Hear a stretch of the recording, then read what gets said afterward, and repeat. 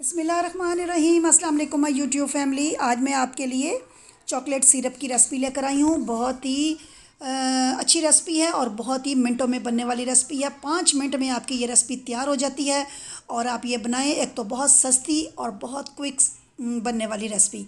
तो चले चलते हैं। इसके लिए हमने आज क्या लिया है?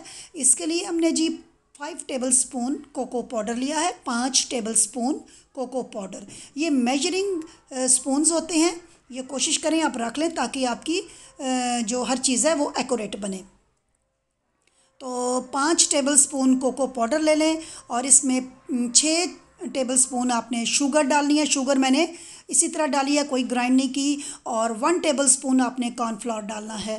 तो इसके अलावा आपने अभी और कुछ नहीं डालना, इसको आपने अच्छे तरीके से मिक्स कर लेना है। एक टेबल स्पून आपने मक्खन भी लेना है और एक कप दूध भी लेना है, लेकिन अभी वो शामिल नहीं करना। अभी ये जब सब कुछ मिक्स हो जाएगा, खुश्क चीज़ें तो फिर आपने दूध को थोड़ा थोड़ा करके, ऐड करके इसमें स्पैक्चुले की मदद से मिक्स करना है। तो ताकि कोई इसमें लम्स ना बने, कोई गुटली ना बने और ये अच्छे तरीके से मिक्स हो जाए। थोड़ा थोड़ा करके दूध डालना है, एक कप दूध है और ये आपने थोड़ा थोड़ा करके इसमें डालना है और साथ साथ आपने विस्क की मदद से इसको मिक्स भी करते रहना है। तो ये जी हमारा मिक्स हो रहा है, आप देख सकते हैं। तो बड़ी मज़ेदार और शानदार किस्म की ये सिरप तैयार होता है। आप बनाएँ, बच्चों को दें। ये कप केक्स पे भी लगता है डोनेट्स पे भी लगता है और केक्स पे भी लगता है बिस्किट्स पे भी लगता है। बहुत सी चीज़ों पे बच्चे ब्रेड में लगा के भी खा सकते हैं घर में और बहुत सी चीज़ों पे आप ये यूज़ कर सकते हैं। बच्चों को तो ये बहुत पसंद होता है और इतना सस्ता और मिनटों में बनने वाला ये सिरप आप तैयार करें घर में और बच्चों को दें। बच्चे बहुत खुशी से खाते हैं। बाज़ार से लाने की बिल्कुल कोई ज़रूरत नहीं है। देखें कितना सस्ता और कितना शानदार ये आपके लिए मैं सिरप बना रही हूँ। तो आप देखें, आप ये बनाएँ और ये आप बच्चों को दें, बहुत खुश होंगे। जिस तरह बनेगा ना मिनटों में, इसी तरह मिनटों में ख़त्म भी हो जाएगा। तो फिर आपने ये सारा जो मिक्स हो चुका है हमारा मटेरियल, आपने एक पैन में इसको निकाल लेना है। पैन आपने चूल्हा ऑन कर देना है।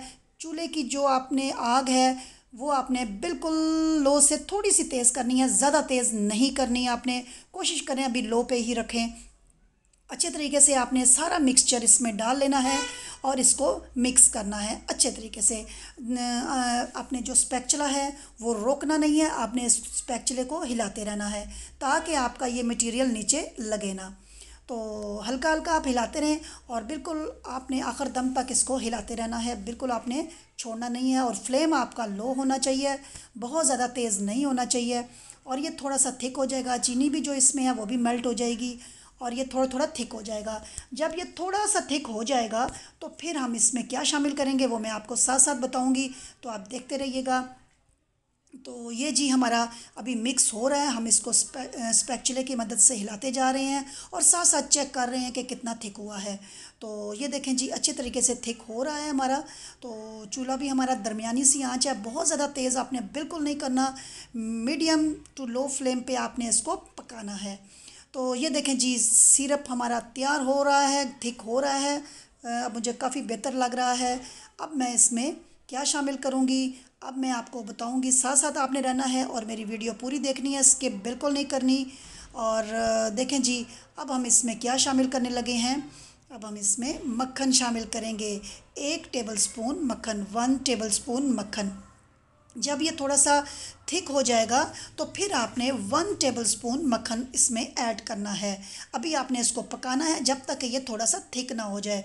ये देखें पहले से बेहतर हो रहा है। जब तक थोड़ा सा थिक ना हो, जब तक आपने मक्खन बिल्कुल ऐड नहीं करना। तो मैं साथ साथ चेक कर रही हूँ, क्योंकि फ्लेम मेरी लो है, इसलिए ज़रा इसको दो मिनट लगेंगे। तो ये देखें जी, वन टेबल स्पून मक्खन आप शामिल कर दें। अगर घर का बना हुआ है तो वो डाल लें, नहीं तो बाज़ार का आप डाल लें, कोई भी डाल लें। तो ये जी वन टेबल स्पून इसमें मक्खन जाएगा। और मक्खन आपने अच्छी तरीके से मिक्स करना है जब तक कि मक्खन इसमें अच्छी तरीके से मेल्ट हो के मिक्स ना हो जाए तो उस वक्त तक आपने इसको हिलाते रहना है। आपने इसको छोड़ना नहीं है, हिलाते रहना है, बिल्कुल आपने इसको रोकना नहीं है चम्मच को। तो ये जी अच्छे तरीके से आपने इसको मिक्स करना है, मक्खन मेरा अच्छे तरीके से इसमें मिक्स हो जाएगा, फिर भी आपने हिलाते रहना है, छोड़ना बिल्कुल नहीं है। तो ये अब देखें और घना होना शुरू हो गया है। जब ये सिरप की तरह थोड़ा घना सा आपको लगे तो उस टाइम आपने चूल्हा बंद कर देना है क्योंकि ठंडा होने के बाद ये थोड़ा सा और थिक होगा। इसलिए आपने बहुत ज़्यादा थिक नहीं करना। तो ये देखें जी अभी मुझे काफ़ी थिक लग रहा है। जब मुझे लगेगा कि मेरे मतलब का हो गया है तो मैं उस वक्त चूल्हा बंद कर दूँगी। लेकिन अभी मेरा आ, हो रहा है अभी मेरा हुआ नहीं है इसलिए मैं अभी चम्मच हिला रही हूँ अच्छे तरीके से और इसको मिक्स कर रही हूँ ताकि ये नीचे भी ना लगे, क्योंकि ये कॉर्नफ्लावर की वजह से ये नीचे लग सकता है। कॉर्नफ्लावर जो है वो इसको थिक करता है और इसमें शाइनिंग लेके आता है। तो बाकी इसमें कोको पाउडर है, चीनी है, बाकी मक्खन आपने डाला है। तो ये देखें सब चीज़ों का बेहतरीन ये सिरप तैयार हो गया है।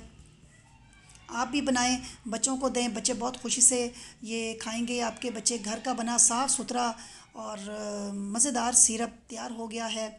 तो ये जी, आपको मेरी रेसिपी आज की कैसी लगी? शानदार रेसिपी। पाँच, छः, दस मिनट में चलें। दस मिनट कर लें। बहुत हद मारी, दस मिनट में आपका ये सारा प्रोसेस मुकम्मल हो जाएगा और बेहतरीन आपका चॉकलेट सिरप तैयार हो जाएगा। और आपको क्या चाहिए? इतना सस्ता और इतने मिनटों में तैयार होने वाला सिरप। तो मुझे फ़ीडबैक ज़रूर दीजिएगा कि आपको मेरी आज की रेसिपी कैसी लगी।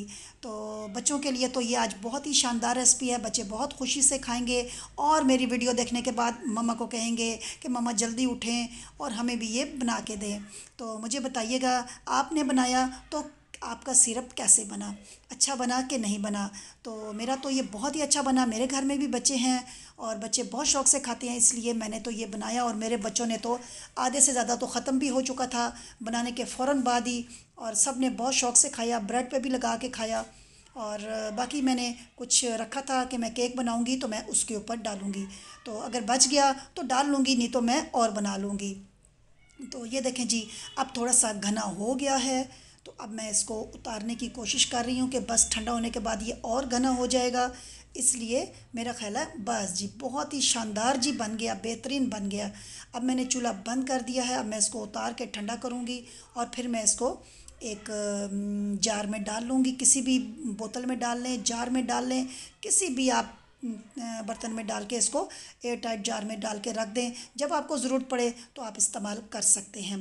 तो या फ्रिज में भी रख सकते हैं। बच्चे जब भी खाएँ उनको लगा के दें ब्रेड पे या उसको किसी भी शक्ल में आप पराठों पे भी डाल के खा सकते हैं। क्योंकि ये तो इतनी मज़ेदार चीज़ है कि आप किसी भी चीज़ पे डाल के खा सकते हैं। तो ये देखें जी अब मैंने इसको उतार लिया है ठंडा करके।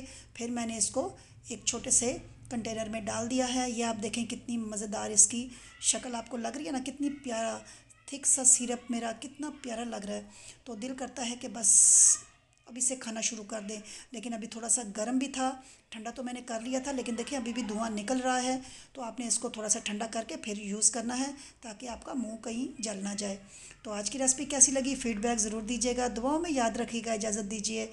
अल्लाह हाफिज़।